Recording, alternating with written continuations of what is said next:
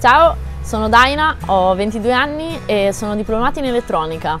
Mi vedete in divisa perché attualmente svolgo il servizio civile. Oltre a questo faccio anche la babysitter. Eh, ho deciso di partecipare dopo che la Croce Blu mi ha contattato e mi sono messa in gioco.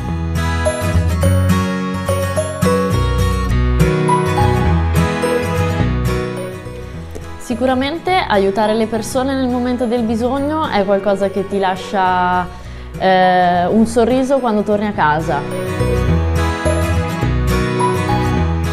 Ah, e il bando scade il 10 febbraio, muoviti!